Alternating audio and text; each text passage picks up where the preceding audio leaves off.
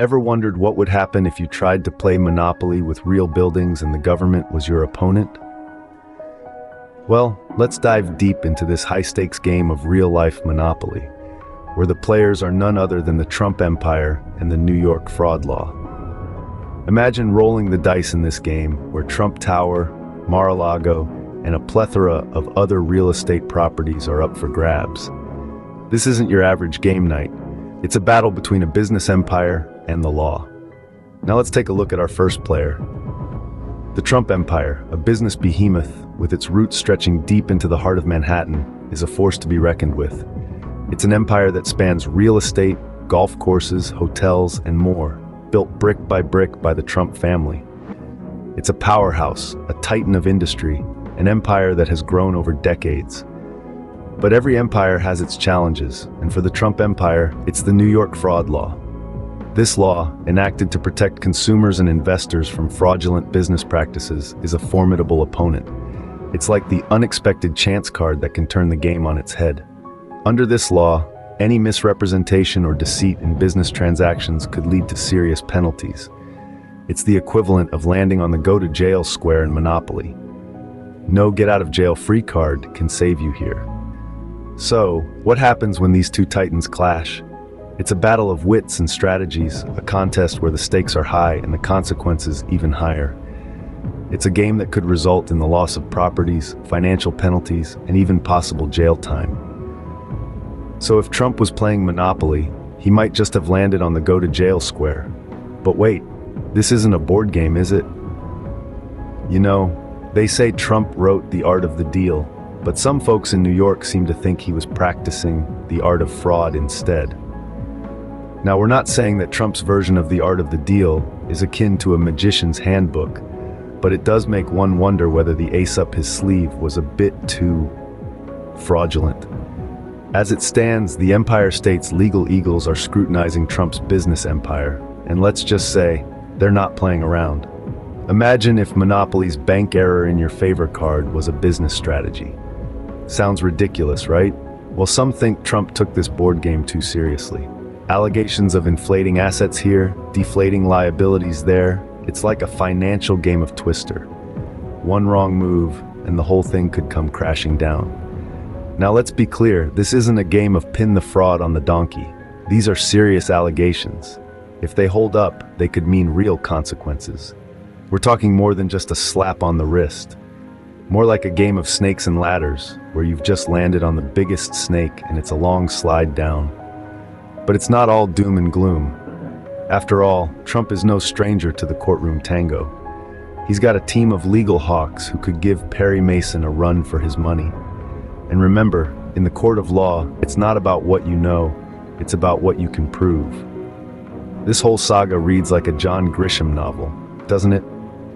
Only time will tell whether Trump's art of the deal was a masterstroke of business acumen or a well-executed illusion worthy of Houdini. Or perhaps it's just another chapter in the never-ending saga of Trump versus the world. Well, who knew the art of the deal might come with a complimentary get-out-of-jail-free card? Now, the Trump empire isn't just going to roll over and play dead. They've got their own chance cards up their sleeves. Picture, if you will, a towering game of Monopoly, with Trump himself as the top hat and the New York fraud law as the banker. The stakes, Trump Tower. The game, well, it's hardly child's play. Trump's legal team, a group of sharp-suited, sharp-witted individuals, are not going to take these allegations lying down. No, they're going to come out swinging, like a boxer in the final round with nothing to lose. They'll be throwing legal jargon and constitutional arguments around like confetti at a wedding, hoping something sticks. Now imagine the courtroom drama. Trump, larger than life, striding into the courtroom, hair immaculate, tie longer than the list of allegations against him. He takes the stand, his voice echoing around the room as he declares, Your Honor, I am innocent. The prosecution, unimpressed, responds with a barrage of evidence, each piece more damning than the last. Trump's legal team fights back, their words as sharp as their suits.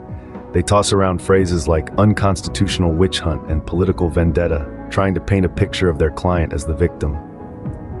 But the judge, a stern figure clad in black, is having none of it. He bangs his gavel, silencing the room. Order! Order in the court, he cries, his voice a thunderclap.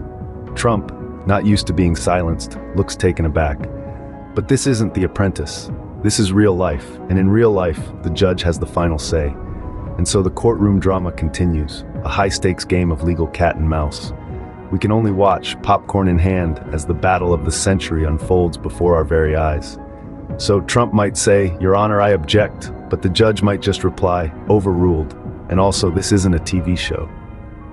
And as the gavel falls, we wait with bated breath to see who will be the victor in this game of Monopoly. So will Trump be saying checkmate or will it be a stalemate? Let's find out. As we delve deeper into the labyrinth of this legal tussle, we see two possible outcomes, triumph or a tie. Now, we're not talking about the kind of tie you'd find in Trump's wardrobe, oh no. We're talking about a stalemate, a deadlock, a draw. On one hand, we could see Trump coming out on top, brandishing his king and yelling, checkmate.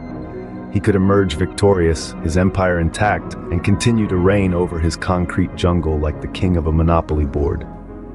But let's not forget, folks, this is not just a game of monopoly. This is real life. And in real life, there are no get-out-of-jail-free cards.